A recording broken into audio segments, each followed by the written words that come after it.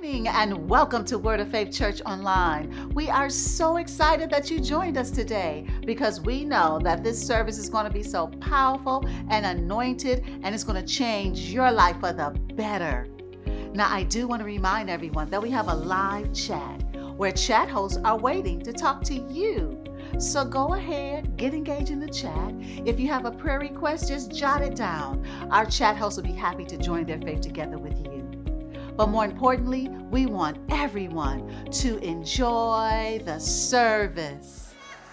Well, does it, what does the word say in Romans chapter 8? Nay, in all these things, we are more than conquerors. Why? Through him that loved us.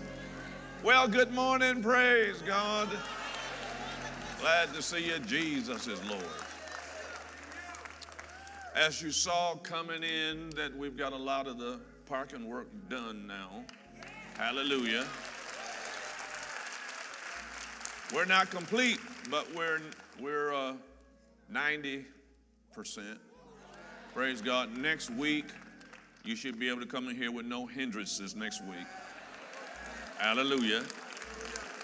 Thank you for putting up with it, but there's no way to you know, your block roads and block entrances is going to make stuff a little tougher. So I want to thank you for hanging in there, Word of Faith.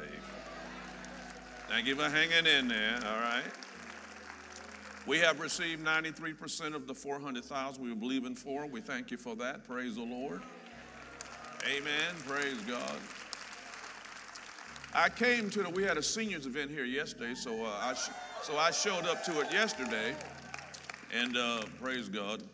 And uh, when I when I came in, the uh, talked to one of the ladies, and she said, she said, "Well, welcome back from vacation, Bishop." I said, "I, I went on no vacation, baby. I'm out working. What you talking about?" Amen. God's sending me places, and I'm ministering to people. I, in fact, I'm going to show you just a. I'm going to show you a 10 second num, number one there. Ashley. I'm going to show. Don't not yet. I'll tell you when. I'm a. Show you just a 10 second clip. Now, I ministered uh, to ministers all over the entire nation. They came from the entire nation of Brazil.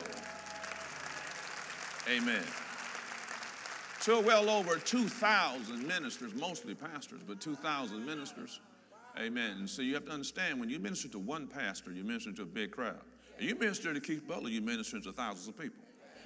Right? So when you minister to a couple thousand ministers, Amen. They feed the people. That so that's a big crowd. that was a nationwide crowd.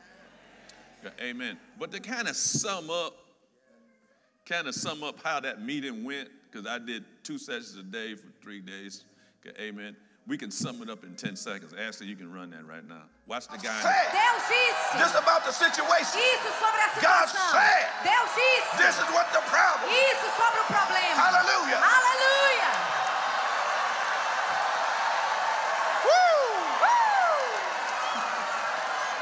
So don't be in a hurry.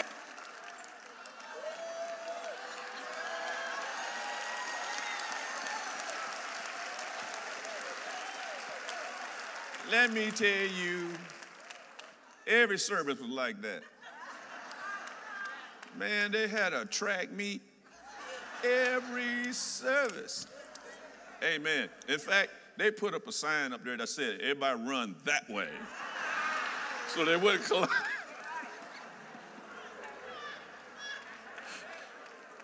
Man, I'm telling you, we had a praise the Lord. The last night I laid hands on 2,000 ministers last night.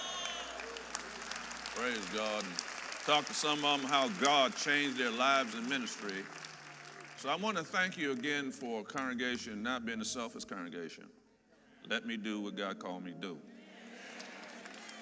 Okay, amen. When Word of Faith was 10 years old, for those of you who are younger here, new, uh, young, I don't mean by age, but I mean in terms of being here at church. When Word of Faith was 10 years old, this church is 45 years old. But when Word of Faith was 10 years old, you know, I was a pastor and a teacher. Uh, and was in, was uh, ending up my term on the city council and praying about what the Lord wanted me to do next. Amen. And the Lord said to me that I was a, I was a shoe in for reelect. Uh, polls wise, I've been not the president of the council or close. Uh, and the Lord said to me, No. He said, I want you to begin to open churches. He said, I want you to do it in the U.S. and urban cities at first. So we, uh, we opened a church in Saginaw. Of course, uh, uh, Ron Chips pastors that church today in Saginaw and then in Atlanta. And then the Lord had us plant churches from California to Florida. Okay, amen. And so people, as I travel the country, I run into people from here, all over in all these states where they left this church to retire or the job moved them or whatever it was, and they're still going to Word of Faith, but they're going to Word of Faith, Florida, or California, or Mississippi, or somewhere else. Hallelujah. But in order for me to do that, some of y'all go back, I was doing four sessions a day, flying 2,000 miles. Uh, amen. And some Sundays I just couldn't be here to do it. Then the Lord gave me the order. He said, I want you to start doing, He started giving me nations to do. Amen. So we've been doing that for these years, praise God, particularly mainly Europe, but not just Europe. We Africa, praise God, South America, other places the Lord has had us do it. Uh, amen. So when I'm gone, okay, I'm not gone on vacation. Trust me, honey, I don't flown how many thousand miles. Got off the plane, ministered, got back on the plane, flew a couple more, or five, six, seven, or ten hours, or 12 hours. Flew, I don't know how many more thousand miles, go minister someplace else. Show up here before Wednesday night, and I'll be like, hello, Wednesday night service. you don't understand, okay? And so when I was just a pastor and teacher, but the Lord promoted me to an apostle office. And so we have Bible schools, we have all over churches, praise God, ministry, particular to teach, train ministers. I do that. I train thousands, tens of thousands of ministers. Hallelujah. So again, I want to say thank you. But if you're you're new here, that's why your pastor may be out sometimes. But when I'm out, I send somebody like who I sent you last week. I'll send you a Jim Hockaday or somebody, right? Were you blessed by Jim Hockaday? In fact, I know this, these folks, I send y'all so good, y'all may not want me back. So, man, you know, praise God. So, so amen. Now, when I came in Thursday uh, to the office, I, I I had to, I was on the road for two places. I went to Brazil and then I had to go to DC. I'm on CUFI board. It's our annual board meetings to go to that. So when I came into the office, finally off the road Thursday, and there was a testimony that came in uh, while I was here that my secretary uh, gave to me that came in apparently this week. So I'm just going to read it to you. A lady called into our prayer center here for prayer. She said she was in the ambulance with her son en route to the hospital. While she was on the phone, the boy died. But she's on the, she's on the phone praying. But we prayed the prayer of faith that the boy would live and not die, commanding life to come back into his body. When they got to the emergency room, pulled back the sheet, the boy was alive.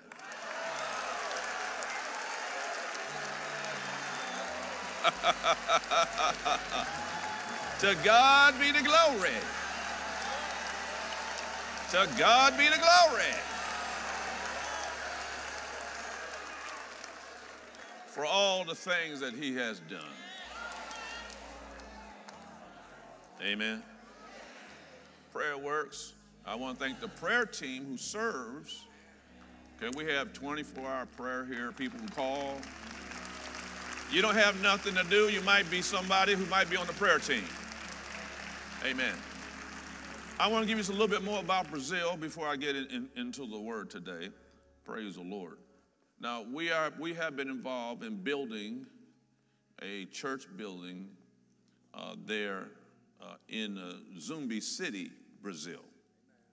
Ministering out way out in the, in the country, way out in the bush, ministering to people. We're building a church building for them in Brazil. Amen. So show them that building. That, that's a, a, little bit of the congregation. That's the building there. Praise the Lord. Okay, amen.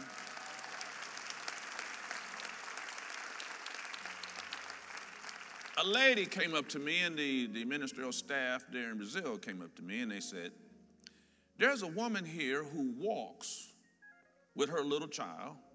She walks one hour to church every Sunday, rain, shines, whatever it is. And see, there, because it's hot there, and when it rains, and the rainy season is all mud, see, she trudges through the mud. That's her right there in the mud with her little child. She walks an hour one way to church, and she is there every week. And we got people who can't drive.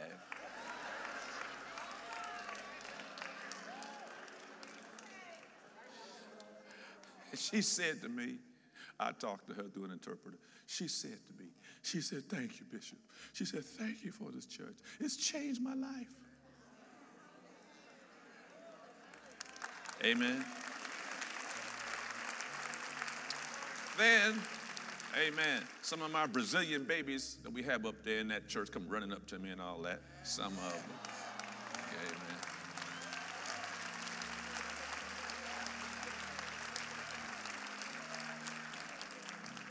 That boy, that first boy closest to you, that boy, he's eight years old. I think that's him. No, it's the one behind him. Praise God, the one behind him. He comes up to me and they told me, he said, he's teaching, he's eight years old. He's teaching himself English through cartoons and, you know, watching stuff. He's teaching himself English. He comes up to me, he says, he says, I want you to know, I really like you.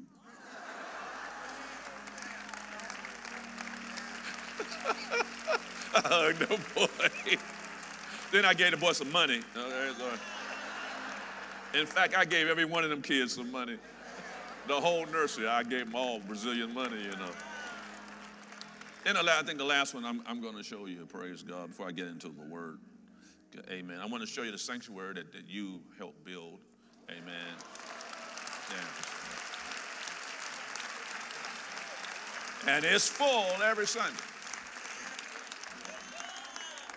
So your seed, your seed is producing harvest throughout much of the world.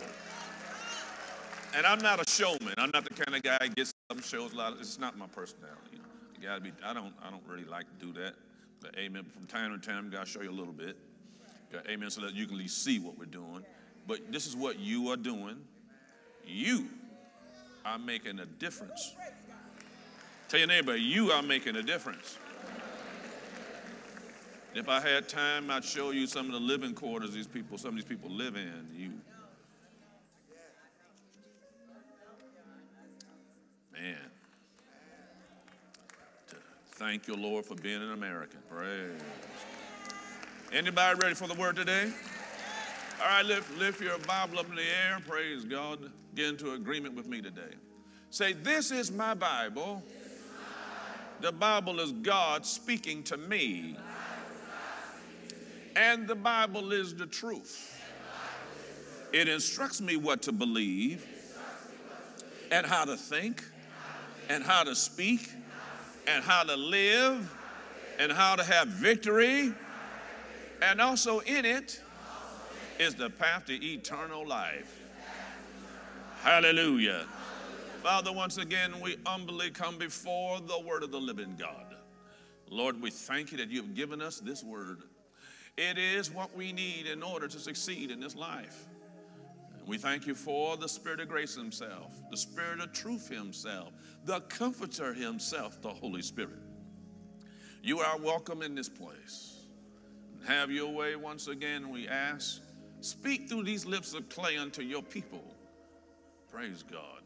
We're open, Lord, to whatever gifts, graces, anointings, manifestations, or demonstrations of the Spirit you would see fit today to grant us. Lord, for whatever you do, we give you and you alone all the glory, honor, and praise. For this we ask in the holy, mighty, matchless, and highest authority of all, Jesus of Nazareth. And by his precious blood, everyone in agreement with this prayer said, uh, Amen. You can be seated in Jesus' name. Open your Bibles to Galatians chapter 5. Please. Hallelujah. Now, I'm uh, beginning here. I don't know how long I may be on this, Uh, but I'm beginning here on the subject of growing up spiritually. Growing up spiritually.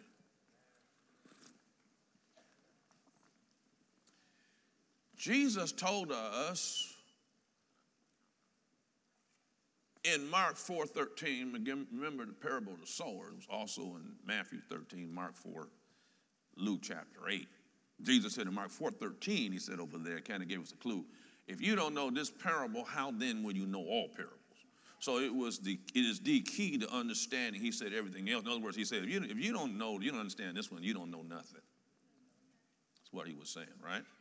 Okay, amen. Deus disse.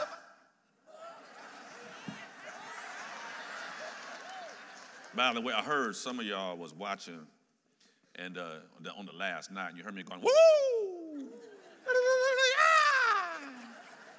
Oh, that's because there's a particular section of Brazil, uh, amen, Sh- Syrianchi, and the Syrianchis, they have a yell they do. So when I'm preaching, when I'm gonna go,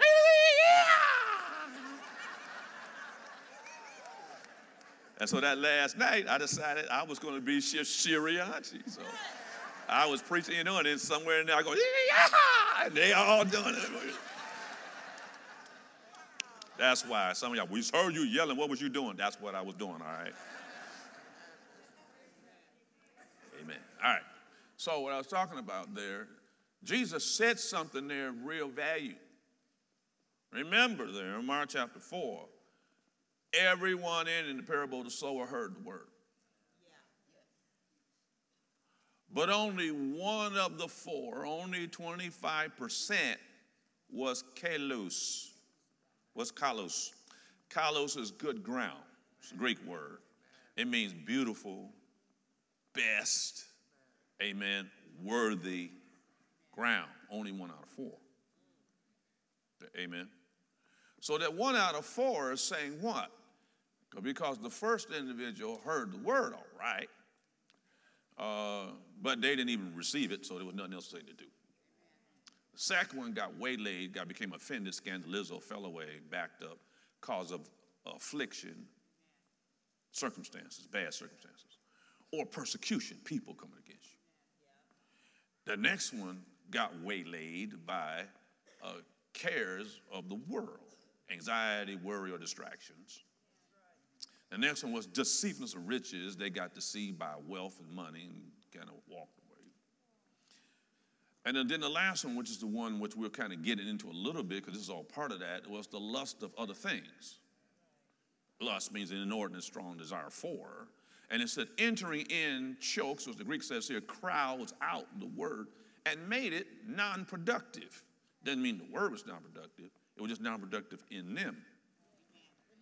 Are you listening to me? Praise God. And so, uh, if you're a good grounder, you are a minority, real minority. You're only 25% of the body of Christ. Okay? Because 75% of people who hear the word are not good ground. I'm going to say that again. Amen. 75% of people who hear the word are not good ground. They do not produce 30 fold, 60 fold, 100 fold, or at all. And so the reason why they may be believers is for fire insurance. I don't want to go to hell. And I want to make sure that at least I can get into heaven. All right. But they are, they are very little productive value to God on the earth. Amen. And there, there are things that come, come with being in that position, why bad things happen to Christians. And they happen largely, many of them happen because of disobedience. Okay. Anyway, so I'm not teaching on that per se. Now, here in Galatians chapter 5, however, since we're talking about growing up spiritually, because growing up spiritually does not have anything to do with how long you've been saved. You can be born again, have been saved for 50 years, and, and not have grown spiritually one iota. So it's not chronological age. You can only have been born again five years, but have done the things necessary to really become a very strong and mature believer. quite possible to do. So it has to do with not unlike natural age. Natural age, the older you get, wiser you get, at least you're supposed to. You know the old saying, there's no fool like an old fool. Right? The older you get, you should, jeez, you should learn something, right? Okay, amen. But spiritually, it's not necessarily true. Not necessarily so. So here in Galatians chapter 5, there's a contrast. He starts here with verse 16, he says here. This I say then, and of course, anytime you see this I say then, you need to go back and find out exactly what he's talking about. But to save time, I'm going to start here.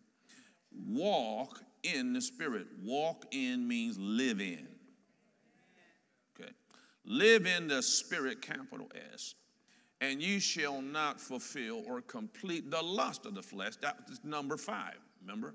Lust of other things entering in chokes the word makes it unfruitful. He said, so walking in the Spirit, or, praise God, living, or another way to say that, allowing the Holy Spirit to dictate every move you make, all decisions you make, and you check in with the Holy Spirit before you do anything else, praise God, will cause you not to operate by the flesh. Because the next couple verses says, For the lust of the flesh are these, and then it lists all kinds of stuff that's not good. Okay? Bunch of bad stuff, and at the end of it, it says, And those, those that repeatedly do this shall not enter into the kingdom of God. So walking in the flesh can cause you to lose out and wind up in hell. Okay, amen. Now we're not going to walk through those today. Amen. But I do, do want you to remember this because there are always new believers. So if you're newly born again, or you're watching me wherever you're in the world, and you're newly born again, you have to grow. What happens is when you get born again, 2 Corinthians 5:17 happens. If any man be in Christ, a new creation. You don't look any different physically. Okay, amen. But you are a spirit being. You are not a body and you are not a soul. You are a spirit being that possesses a soul, which is the mind, will, and emotions, and the real you lives in a physical body. The physical body is not who you are. Yet, so many people identify with the physical body as this, who they are. You are a spirit being. The body is nothing but dirt. As soon as you leave the body and go either to heaven or hell, the body will return back to dirt. Dirt has five properties, it comes in five colors white, black, red, yellow, brown, all in a clump of dirt. So some of you are brown dirt, black dirt, red dirt, yellow dirt, white dirt. Look at your neighbor and say, hello, dirtbag.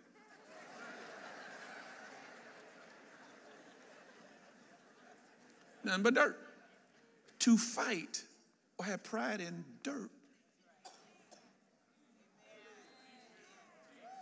Somebody, oh, okay, okay, I'm just gonna go there. Uh, somebody sent me a letter a couple weeks ago to my Black History Month. And they said, well, next year, I said, well, I know you brought a, a guy a couple years ago for Black History Month. He was, he was a great teacher. He knew everything about black history, but he was a white man.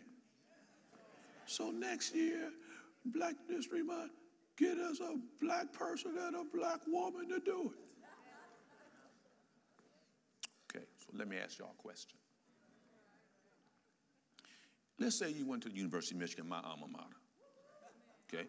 So if you went to UM and you happen to be a black professor and you were assigned to teach European studies, and if the University of Michigan said, we will not allow you, although you are more qualified, you know more about European studies than the Europeans, because this is your area, one of your areas of expertise. Okay, and you know more about them, but we are not going to let you do it because you are black. What would y'all say? Racist, you racist, and such. Wouldn't you? Come on, wouldn't you? You talking about how racist you and what happened to you and Well, that letter was racist. What it means is that the spiritual understanding and growth of the person in question is very small, although they may have been here for 30 years. Got nothing to do with nothing. Because well, why did you go to class? To learn. So the white man that I brought here happens to write the textbooks for the state of Texas, is an expert on black history. He knows more about black history than 99.9999 of people on the whole planet. So I brought him here so that you got the best person,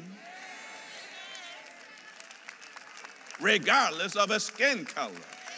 Because what you're supposed to be doing is trying to get what?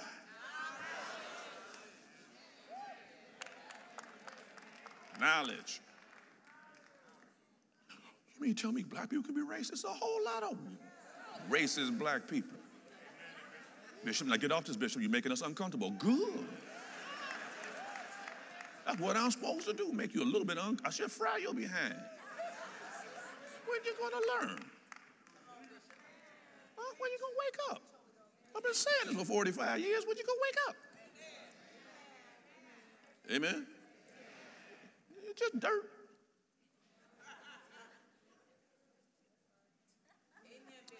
Let's get into the message now. Everybody say, I love my pastor. He's not afraid to tell us the truth. That's right. All right, now, so there's the production of the flesh. We're going to pick with verse 22. But the fruit of the Holy Spirit, that capital S tell you he's talking about the Holy Spirit. And I was starting with you are not a body, and I got waylaid over there. okay, you're not a body. So what happens is when you get born again, the Holy Spirit is God, the Father, Son, and Holy Spirit. The Holy Spirit come into your spirit is the one that recreated you. He's on the inside of you. Praise God. And has made you new on the inside. You are a new creation. You're not the same. You may look the same outside, but you are not the same. Amen. Something has happened there.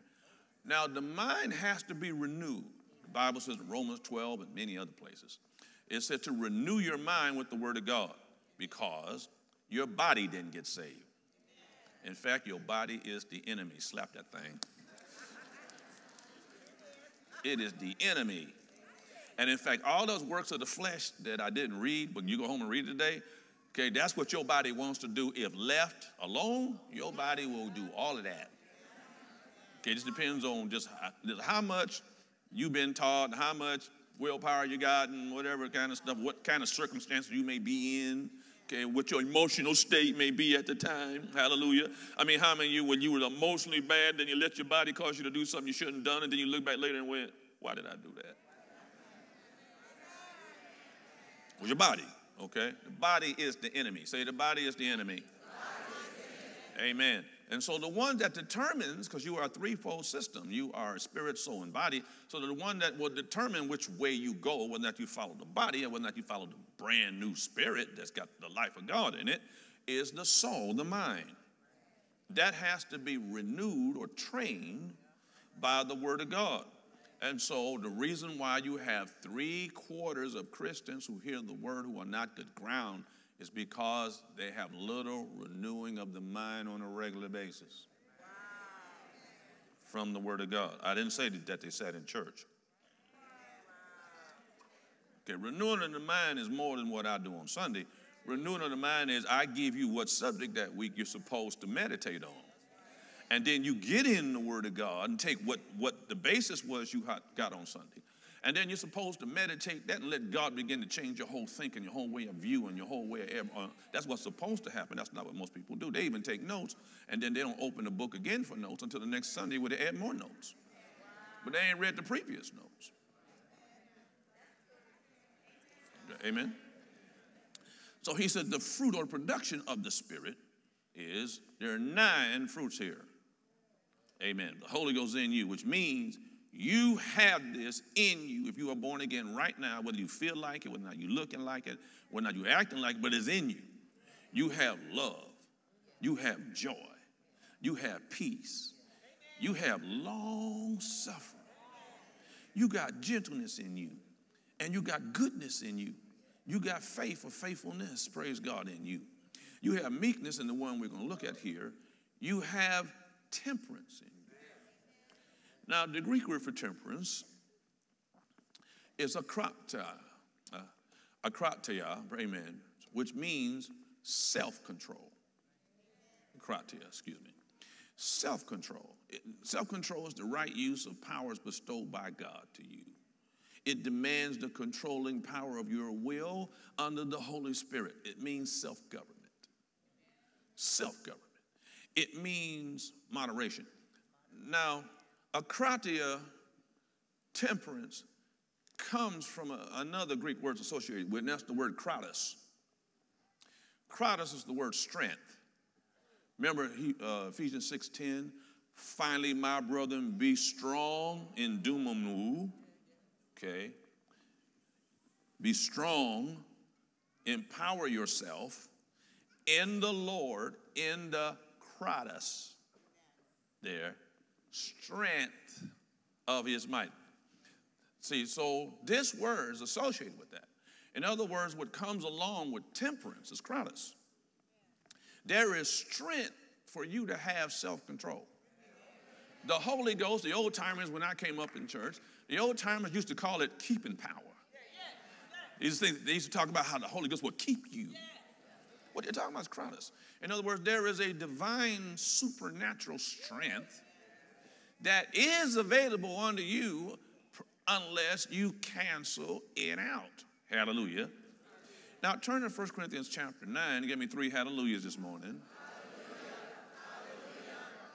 I know some of y'all mad at me already. I've had people leave the church because of what I just said five minutes ago. Okay, amen. And at the same time, they'll be saying they're good ground. They ain't no good ground. In fact, with that attitude, they might not even get into heaven. I'm not joking. You think God putting up with that? All as, a, all as of the devil. Now, in 1 Corinthians chapter 9, notice here what he said in verse 25. Praise God. And every man that striveth, underline, for the mastery is temperate in all things. Uh, amen. Now, the uh, agonizomai is the Greek word there for strive for mastery. Uh, it means that you endeavor to accomplish something. It means you'll even struggle to do something. Amen. But you have made it, you have made a decision. This is what I am going to do.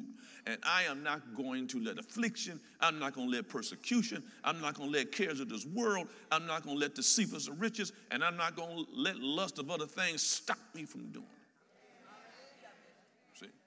So what he said here was, uh, amen. Every man that striveth for that mastery, temperance is involved in it. He has self control, he has self government, or she has moderation. Praise God. In other words, every individual, even today and even in the natural, if you want to talk about uh, Kansas City quarterback Mahomes, or you want to talk about a Michael Jordan, you want to talk about whoever you, the, the, the Tiger Woods, or, or whoever you want to talk about, the top of the top of the top in their profession, they had enough self control okay, that they did things necessary enough to become the best in that. They learned how to put the plate, plate back and not eat stuff. They learned how to force their body to get out of bed early in the morning. They learned how to be out there by themselves where everybody else was sleeping and they were, they were out there taking jump shots or throwing footballs or hitting baseballs or running, but they were out there when nobody else was out there and they denied themselves of other things that would keep them from mastering. What he's talking about here, he's talking about, of course, in Greek time, they, they had the races, right? They had the Olympic, Greek Olympics. In fact, let's read a little bit more of the verse. He said, now, now they that do it, that is, those that obtain the mastery, endeavor to accomplish something, they do it to obtain a corruptible crown. Back then, the wreath, you've seen it in school, at least most I don't know what schools today, but they used to teach history. A corruptible crown, but we an incorruptible crown. Ours, praise God, is not a natural crown that fades away. Is incorruptible. Now, I therefore so run, Paul says, not as uncertainly, in other words, not for nothing. I fight So fight I, not as one that beats the air. In other words, uh, I am focused.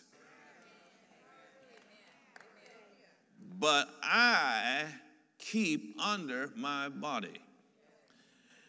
Now, hupopiazo is the word keep under. Hupopiazo means to hit under the eye. So he said, This is what I do to my body. Bam! I ain't gonna punch myself in the eye this morning. There's enough people already trying to do that. All right, but he said, But I hit myself under the eye. In other words, I will treat my body roughly. And I will beat up my body because I understand my body is the enemy. Let's read some more. He said, Praise God. But I hit my body under the eye and I bring it into subjection. The word subjection means slavery. I make the body a slave to me instead of me being a slave to my body. Most Christians and the ones who fail, who are not good ground, is because their body is in charge. Not them. Body says, let's stay here and drink some latte. Spirit says, get up, come to church. The body says, I know we're supposed to pray, but I was up last night watching HGTV. I'm tired. Spirit says, get up. Let's get, get before God. Amen? Well, he's, now he says now, I, he's now, I, I, I make my body a slave less, because if I don't, lest that by any means or any way the body can get out, to squirm out, because the body does the body is not holy. How many you find out your body is not holy? Your body is not holy, baby. Tell your neighbor, your body is not holy. In fact, your body is unholy. Mm-hmm. Paul had a whole chapter in chapter 8, man. He, said, he says, Who shall deliver me from this body of death? He said, What I want to do, I don't do, and that what I that what I do do is not what I don't want to do. He said, Who can deliver me from this body of death? In other words, the struggle for a born again Christian, the struggle is not between your spirit and your mind. What it is, is that your born again spirit and your body. And if you renew your mind, now you need to understand Satan has access to your mind in this way. Satan speak, he'll get out some demon spirit to get outside your head, and he will he can speak just like an angel can speak to you. And he'll say stuff to you. I mean, people thinking about suicide, Okay, they, they think it's their thoughts. It's not their thoughts. That's demon spirits thinking of you. And he's saying, Oh, you got such pain, so you can just end it all and there be no more pain. He ain't gonna he lying because when you leave this body, you're gonna find out things are not over. In fact, things can be much worse depending on where you wind up. Are you listening to me? Hallelujah all these negative thoughts, bad stuff, stuff, you go, why am I thinking it? Ain't your thought. That's why Corinthians said, cast down imaginations. Cast down the images in the mind. Stand up and say, no, I ain't thinking that in the name of Jesus. Get out of here. I'm going to teach you better how to do that, but uh, amen. In other words, you can determine your thoughts. Praise God. But understand, those are lying thoughts and those are not yours. So right now, somebody just got delivered from that. You thought I was thinking it ain't even you. Now you take authority over that devil. So you get out of here in the name. That is not my thought. Hallelujah. Now the body and that demon and gang up, man. They'll gang up together, man, and try and say stuff to you and mess you up.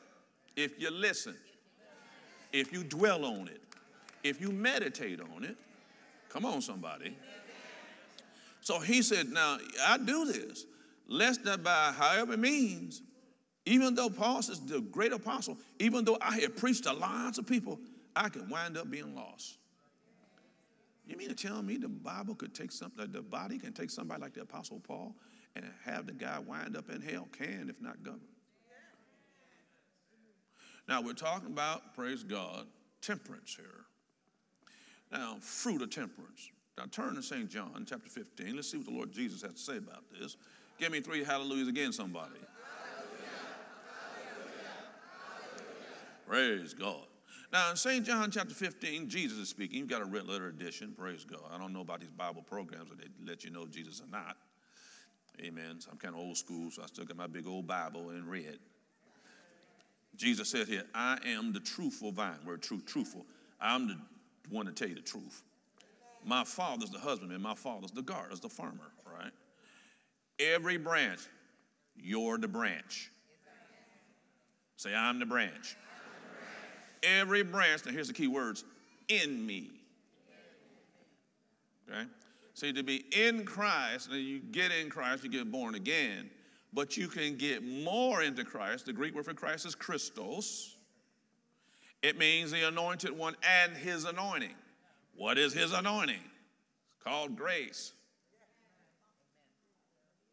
Amen. St. John chapter 1, verse 1, or verse 14 rather, it said that Jesus was full of grace and truth. St. John 16, 23, praise God, the Holy Spirit is called the Spirit of truth. Hebrews 10, 29, he's called the Spirit of grace. Amen. He came on Jesus in the Jordan River in John chapter 3. It was then Acts 10:38 came into being, which reads, How God anointed came into being, poured on, spirit on. Amen. How God anointed Jesus of Nazareth with the Holy Ghost, another one of his names, Spirit of grace, hallelujah, Spirit of truth, comforter. How God anointed him with the Holy Ghost and with power who went about doing good, healing all that's possessed of the devil. So that power was stronger than anything Satan come up against. And Jesus didn't do any miracles until he was anointed. Are you listening to me? Praise God. Well, he had grace on him. That's what grace is. Grace, in its fullest form, is the manifestation of the Holy Spirit. Praise God. That's what it is. It's not a position, it's not a Okay, Amen. So he says, so every branch in me, so you're following that Holy Spirit, that does what? Does not bear, bear fruit. What fruit? Love, joy, peace, long suffering, gentleness, goodness, meekness, faith, temperance. Amen. He taketh away. And every branch that bear fruit, he purges it. Now, the word purge means he cleans it. Right? Anybody, anybody here ever doing the gardening? Oh, a lot of y'all in here city folk with gardening. Go ahead. Well, you know, man, every so often, man, you gotta you gotta do what in that thing? You gotta weed it out, don't you? Amen. Because if you don't weed it out, what will come up with what you planted will also be stuff you do not want. Right? I mean, I have that happen in my flower beds, man man, I go out of town for two weeks or whatever, minister, come back, man, and they had a couple of days of heavy rain. I come back, man, and them weeds be up there trying to be in there. And if I, if I have to run back out, amen, them weeds be taller, you know. Uh, amen. I, I got to do it. I got to pay somebody to do it, but it, it's got to happen. Because if I don't, the weeds will overrun and eventually choke what you planted. So he said, Everyone in me has to be purged. There is a cleaning process that takes place or should take place with the believer so that you can produce love, joy, peace, long suffering, gentleness, goodness, meekness, and temperance. So God will clean you up. Now, He will not use cancer to do it. He ain't using none of Satan's tools to do it. Amen. Hallelujah. Praise God. Jesus said the thief comes to steal, kill, and destroy. But that don't mean God won't clean you up. More on that, more on that in a minute. So he that uh, he that produces fruit, God will purge it. Why? So you have even more production. How am I clean? Through the word. Most important thing you have is the reason why I have you lifted your Bible. This is my Bible. It is God speaking to me. It is God cleaning you up. Come on, somebody. Amen. He said, which I have spoken unto you. Five elements got to be put to that word that's spoken to you. You got to hear it, receive it, believe it, speak it, and then go act on it. he goes on to say, he said, now live in or remain, settle down and take up residence, I believe the Amplified says here, in me and I in you. And as the branch cannot produce anything by itself, except you live in, settle down in, take a residence in me, you can't do nothing. The next verse tells you. I'm the vine, you're the branches. He that's in me and I in him, he brings forth a whole lot of fruit. But without me, you can't do a thing. Amen. So that means we, we can't brag about what we produce. God's the one who produced it all. And everything you got, God gave it to you. The money in your pocket, God gave it to you. The house you got, God gave it to you. Amen. He was now there's things that you you did. Amen. There's two sides to that because the Bible says you and God are partners. Okay. Amen. Praise the Lord. So he's not saying you don't get no credit. But understand this at the end of the day, though, there's nothing you could have done without him. You can't even breathe without God. You be laying here on the floor and pass away, man. If God would have turned off the speaker, you'd be all she wrote. Amen. That's why you ought to be glad every morning you get up.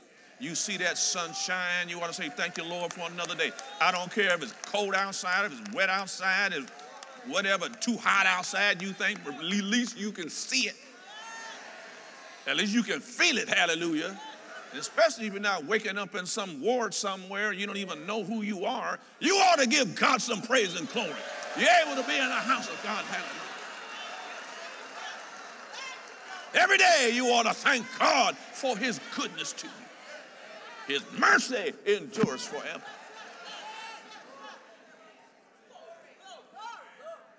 He said in verse 6 if a man lives in and settles down, and see, that's really following the Holy Spirit. He, he doesn't do it in me. He is cast forth as a branch and is, he dries up. See, here's what happens he becomes 75% instead of 25%. He is withered, he's gathered up and thrown into the fire, and they are burned. Paul said it could wind up taking me all the way to hell. If you live in, settle down, and take up residence in me, and that's why you hear me, son. My words. Okay. Live in, settle down in, take up residence in you. Know what he says. You can ask what you will. Now, the word, the Greek word here, ask, means demand. Not demand of God, demand of the devil, who's holding up all your stuff. You can demand what you will, and it shall be done in you. My Father's glorified when he sees that. Why? Well, amen. I, uh, uh, praise the Lord. I got back in time enough to go take my grandson, one of my grandchildren, my grandson, Friday. I got back Thursday. Friday, you know, I, have been missing on the road, so I got one of my grandsons. He stays under me tight. And so he, he plays a little golf with me, you know. So I took him to golf on Friday. Okay. And so he was out there, and they made it, they forced us to play in a foursome. He's never done that before, which means you got to have two other people who are not me. He's always, always played just with me. But they put us in, they had to play with two other adults and me, kid, people ain't never seen before. Okay, well, seven year old kids, you know, he ain't so sure about this, right? That little boy stepped up there, he hit a shot. Woo! That shot, woo! That boy hit some shots. I was like, praise God, that's my boy. Why was I, that's my boy? Because he was doing what he saw his papa do. Because I hit a shot too, baby. That was, yeah. Y'all would have said I was PGA Tour. Glory to God. Hallelujah. That's what God does when He sees you smash slam the devil. Praise God. You got fruit, you got temperance. Satan trying to knock you out. Hallelujah. But you know how to be patient. You know how to praise God. Walk with temperance. You know how to walk in love. And then Satan failed. You slam the devil in Jesus' name. And God says, That's my girl right there. That's my girl. That's my boy. Hallelujah. So he equipped you. Now, you have to be willing to use the equipment. Okay, amen. Now, turn to Titus chapter 2. Somebody shoot that clock, man. Yeah, I'm just getting started. Oh, hallelujah. Titus chapter 2. Well, we're just kind of introducing this anyway, because I'm my job is to help you become the 25%. But to do it, you have to grow more. You still sending me letters about colors of skin. You still infantile. You ain't grown yet. Come on. Cares what somebody's color is. I care less. Come on, somebody. I'm always looking for the best person I could find. Should I not have brought Jim Hockaday here because he was white? Huh? What stupidity is that? Huh? I don't bring enough black speakers. I'm looking for the best speakers. Now, if I can find that's going to teach the word like I know it should be taught, not like what you like. You don't know the difference. You just be shouting stuff you don't even know you should be shouting about. They said, y'all be shouting, and I'll be going, oh my God. It's going to take me three weeks to undo what that dude just did. Come on, somebody, because he just taught it totally wrong. Come on. I'm going to tell you another story while I'm at it. I'm going to use up some more, more of my time. When I was a rookie, brand new preacher, I'm sitting in the pulpit back then. All preachers sit in the pulpit, some still do. I'm sitting in the pulpit, I'm brand new. I had my trial sermon. They said, oh, this boy's anointed, he's called and all that. So they had me sit up there. And the senior assistant pastor, he told me, he, he was preaching Sunday night service. He's going to preach that night. He said, watch what happens here tonight. Yes, sir, I'm listening. I'm a rookie, right? Preacher. He says, I'm going to preach on hog maws and green beans. He said, and I'm going to tear this church up. They're going to shout like crazy. I'm like, what, is, what does he mean by hog maws? He got up there, he read one scripture, and then he tuned it up a little bit. Mm-hmm. Said a few things that kind of rhymed here and there. Yeah. Oh, yeah. Oh, hallelujah. Man, he told, and then he he got to it. He wound it up. Hog maws and green beans. Yeah, they tore that church up.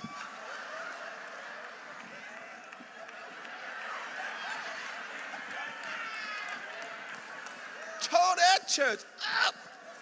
And he did. He turned around and went to me.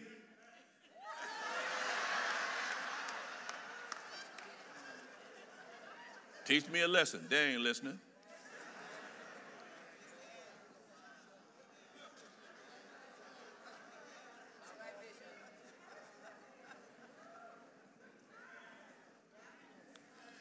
Titus chapter 2, verse 1. Well, speak thou the things which become sound doctrine. Sound doctrine. Amen. Sound means it is not corrupted. Okay, amen.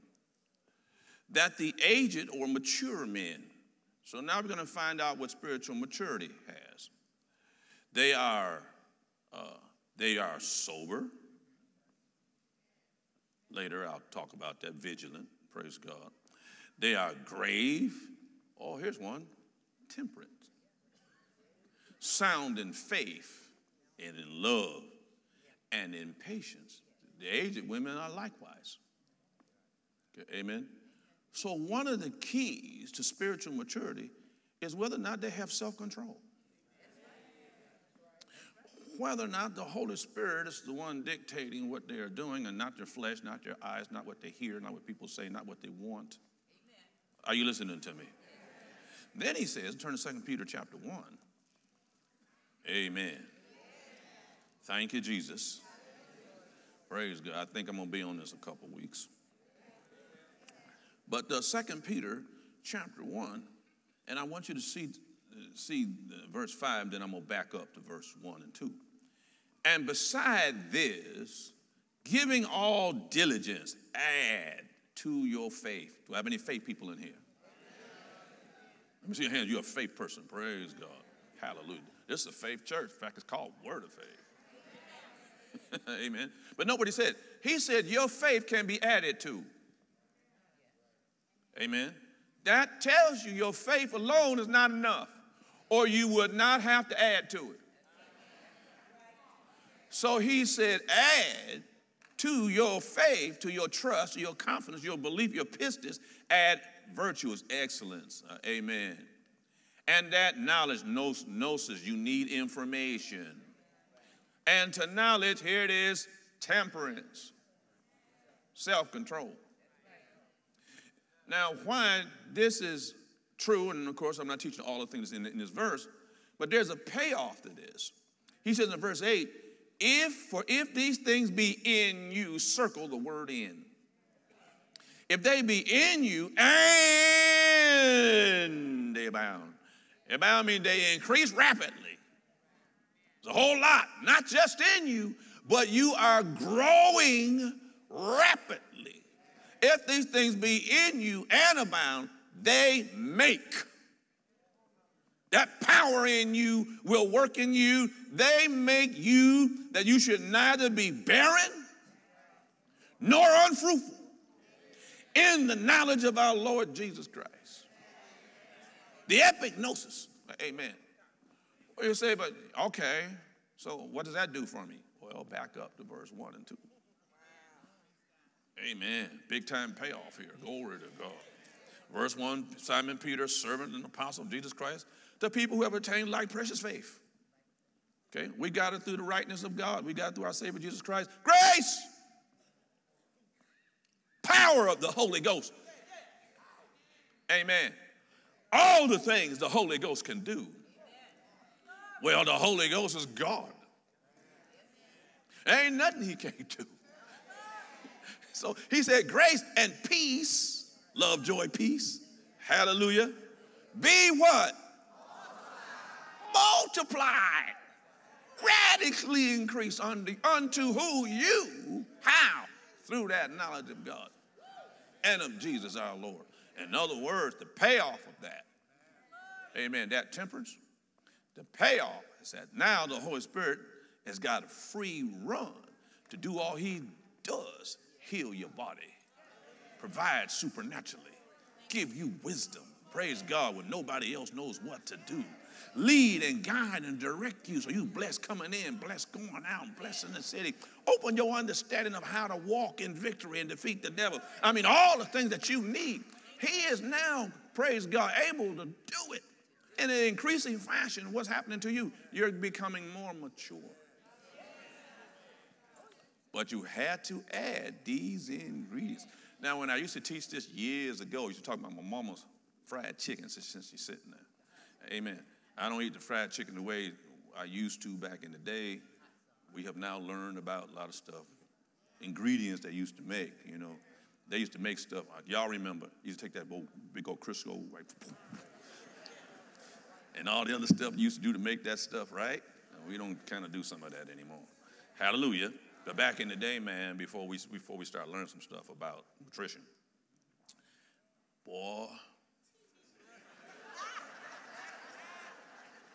my mama cook a like boy, mama cook a platter of chicken. I eat the whole thing by myself.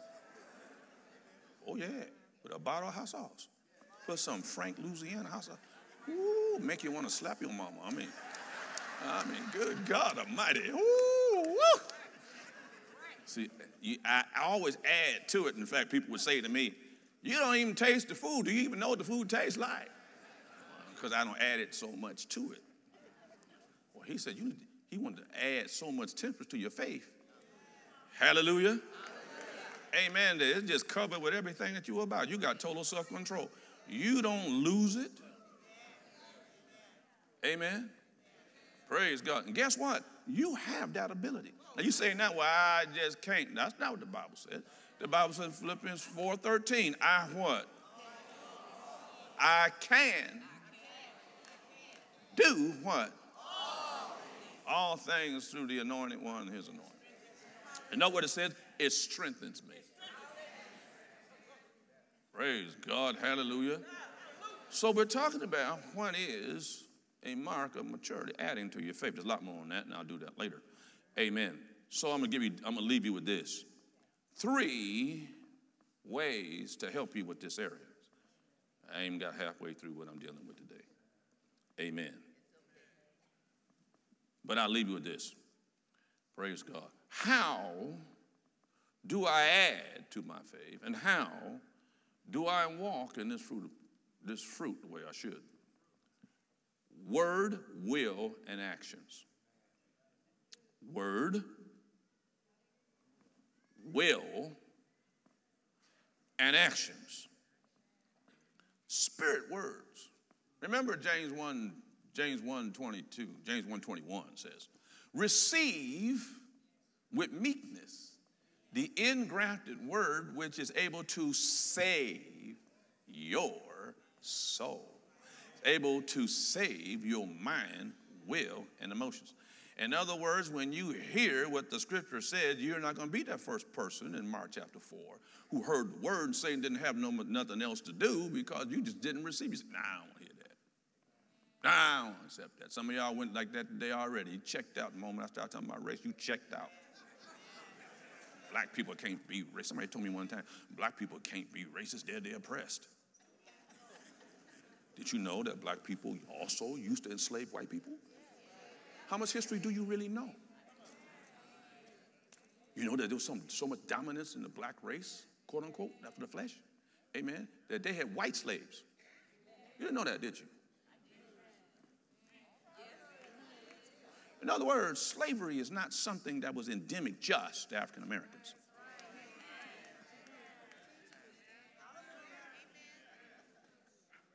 Well, see, you don't, you don't, you don't know your history. Because I can't bring somebody or tell you because, of course, they're the wrong color.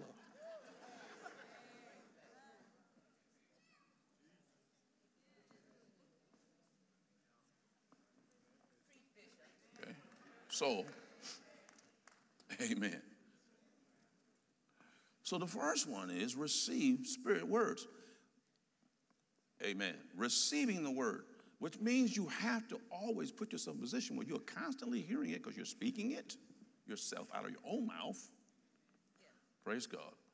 And the Lord was sharing with me about, yeah, there's words, and you taught them recently about this. Yes, sir.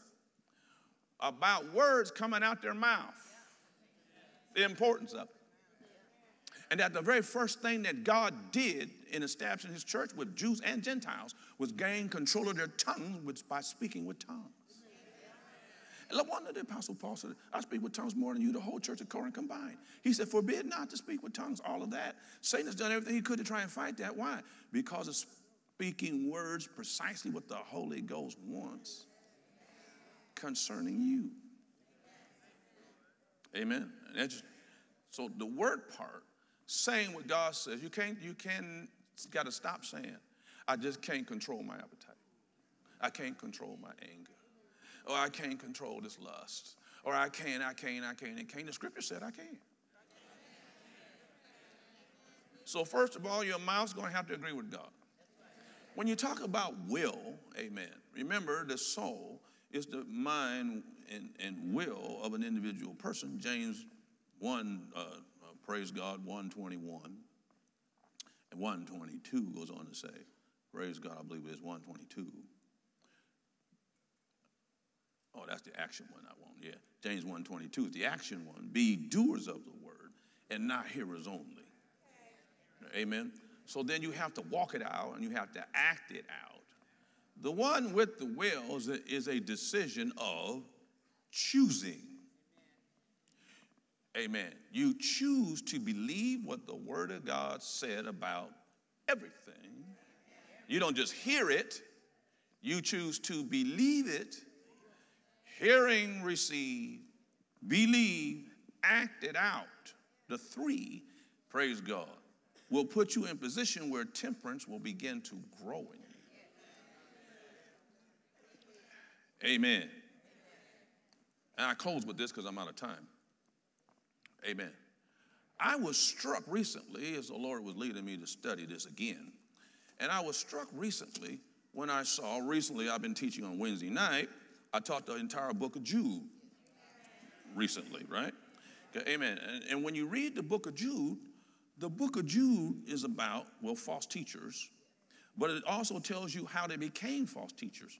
And one of the things that listed there, they became false teachers because they didn't govern their appetite, physical food. And I was struck by how many times in Scripture I kept reading about, when you start this subject, I kept reading about it, talked about, amen, temperance with diet in the Bible. And it keeps talking about the food that they had unrestrained food intake. So they let their body eat whatever they want to eat and whatever, whatever they want to do. Praise God. Let their body have control. Amen. That helped the body be stronger to sexual appetite. Amen. They became like Sodom and Gomorrah, for those of you who were with me in the book of Jude. Amen. Which all led to they had to come and come and get a, a teaching that's going to work for them. So they're going to teach grace as well, you kind of forgive them for whatever you want to do. Now you need to get the tapes on that that I was teaching on. I taught the whole book recently. Just finished it about a month ago. Hello, somebody. Amen. Amen. Praise God. I really know I made you uncomfortable when I talked about the plate, didn't I?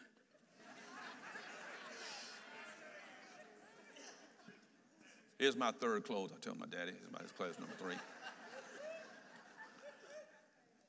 Why does weight gain happen? Weight gain happens when you're 18 years of age. Your metabolism and your body is, you at the top, man.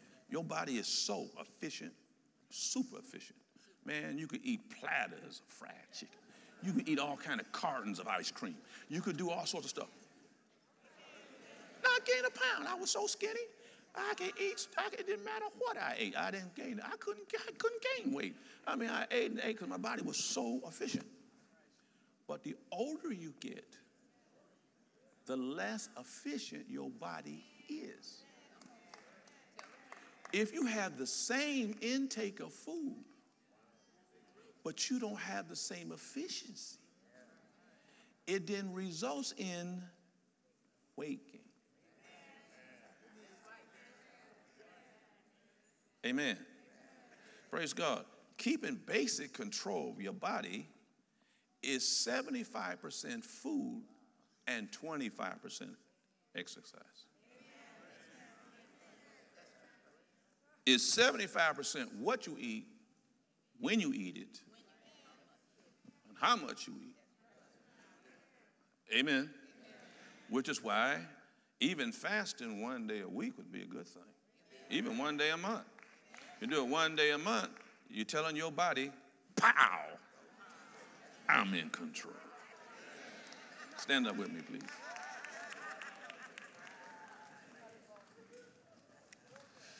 Let's lift our hands and give God praise for the word tonight.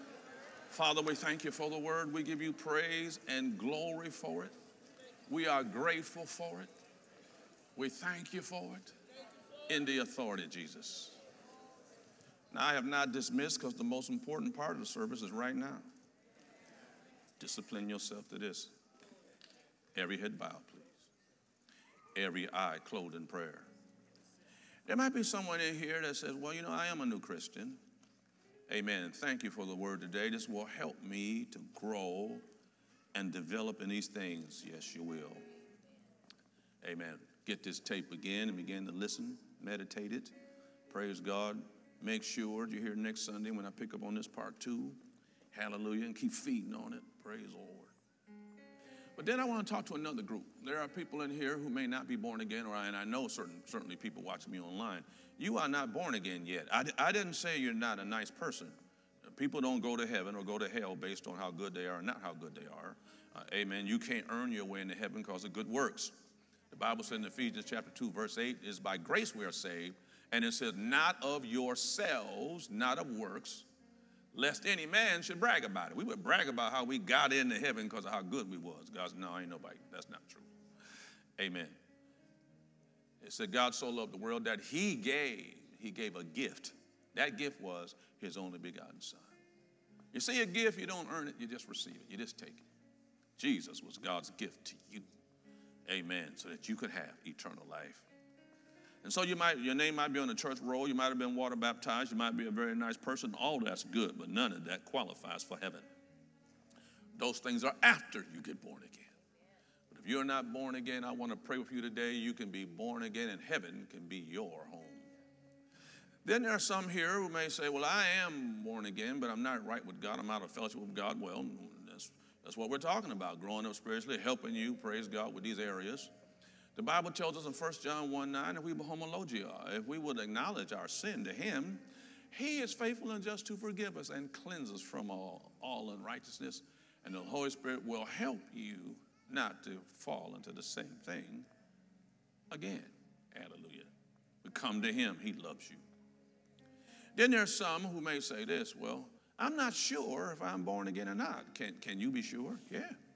The Bible said in 1 John chapter 5, verse 13, the scripture was written that you may know that you have eternal life. If you don't know that you know that you know that you know you're born again, you don't know that you're saved, you need to pray with me today. Let's mark this day on 23rd. Praise God. Let's mark this day today. Praise God in Jesus' name.